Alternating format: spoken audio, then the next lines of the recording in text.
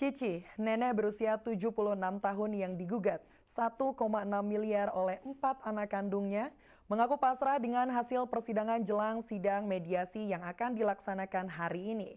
Dirinya berharap keempat anaknya bisa terbuka hatinya dan kasus diakhiri secara kekeluargaan. Cici tampak sibuk dengan aktivitasnya membersihkan rumah di Jalan Bahjaksa, Cigadung, Kota Bandung.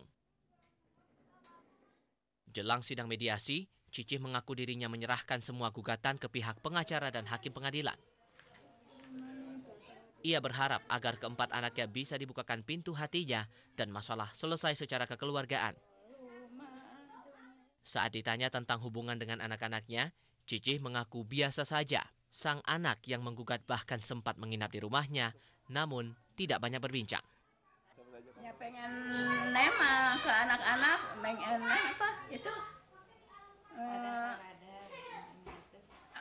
mau sadar eh mau nggak maunya anak-anak sadar hmm. gitu nggak terlalu terus terlanjur gitu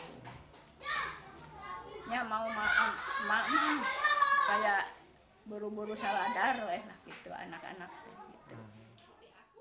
Sidang mediasi lanjutan terkait kasus Cicih akan dilaksanakan hari ini yang akan mempertemukan Cicih dan keempat anaknya demi mencari jalan keluar. Dari Bandung, Mujib Prayitno, iNews melaporkan.